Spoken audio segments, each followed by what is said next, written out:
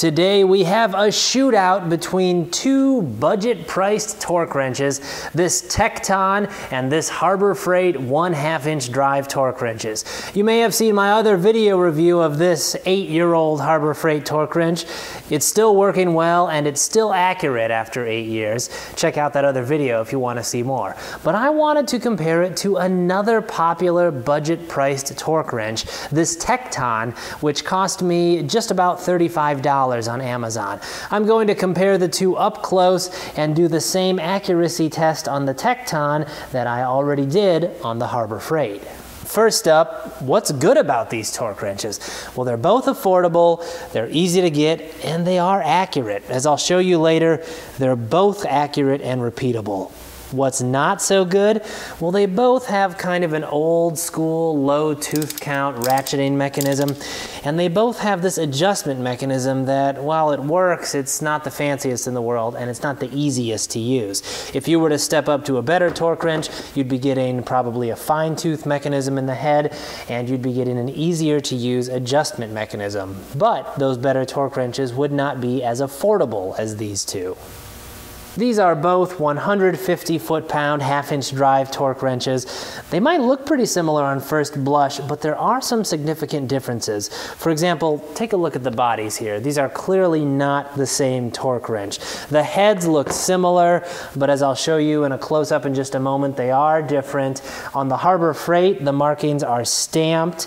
On the Tekton, it looks to me like they are screen printed.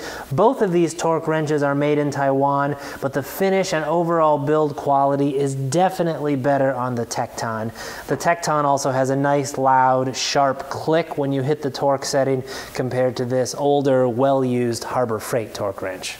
When you get up close here to the ratchet heads, you can see they're kind of a similar design, but based on how they are shaped and how they are made, they are not identical. So let's open them up and see how similar they are.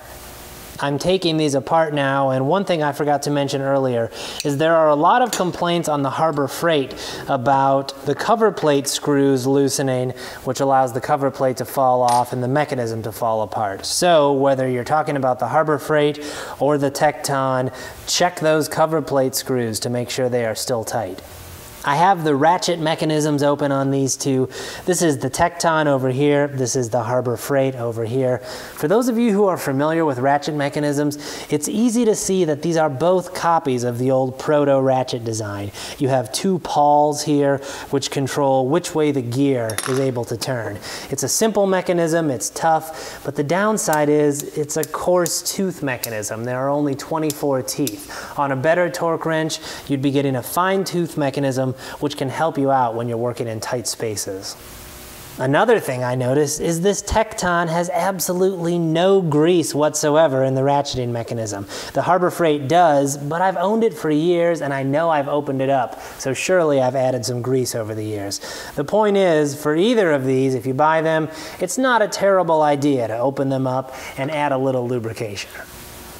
Another thing I wanted to point out is how the adjustment mechanisms work on these and how the Tekton is a little bit better in this regard. If you do some reading online about the Harbor Freight, you'll read complaints about people saying it gets really stiff as you're trying to adjust the torque wrench higher.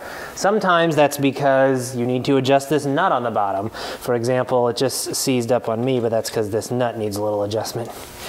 After that, you can start twisting it up more, but it does get pretty difficult to turn on this eight-year-old one as you get uh, all the way up to the top of the scale. On the Tekton, it adjusts the same way. You turn this handle on the bottom, but at least on this example, it's a lot easier to turn. Oh, I need to stop and adjust the nut there, and I can turn it. Just need to stop and adjust the nut again. I can turn it all the way up to the top without too much trouble. So on both of these, this adjustment mechanism is one of the spots where if you were spending more and getting a more expensive torque wrench, you might get a different type of adjustment mechanism, or you might get this type of adjustment mechanism, but it'd be a little easier to use. That's one of kind of the downsides of these, but definitely the Tekton is the either easier of the two to adjust. So here we're set up just like I did previously with my Harbor Freight torque wrench. We have the Tekton torque wrench here attached to the torque adapter. These lug nuts are torqued to 100 foot-pounds and the torque wrench is set to 70 foot-pounds. 70.1, 72.1, 69.3. Here I have the numbers from my original Harbor Freight torque wrench test and here from my Tekton torque wrench test. Now the setting on all of these was 70 foot-pounds. Here I have the actual readings for the Harbor Freight. Here I have the actual readings for the Tekton and then here I have the deviation in percentage. It just happened to be that on the eighth pull for both of them is when I got the largest deviation. 3.29% uh, under on the Tekton and 3.57% over on the Harbor Freight. So what should we take away from these numbers?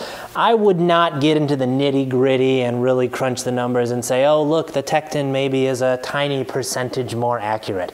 The point is, is both of these are accurate. They're both more than accurate enough for the kind of things I'll ever be doing in my garage, which would be working on vehicles and engines. For most things you're going to do, these are more than accurate enough. So to wrap it up, both of these torque wrenches work well, and if you're on a tight budget, neither one is really a bad choice. Also, neither one is as nice as a more expensive torque wrench, but they do get the job done. The Tekton is clearly the better of the two though. Uh, it's easier to adjust, it has a nicer fit and finish, and it does have a better warranty. So if you're shopping for a bargain price torque wrench, I personally would probably spend the extra $25 and get the Tekton over the Harbor Freight.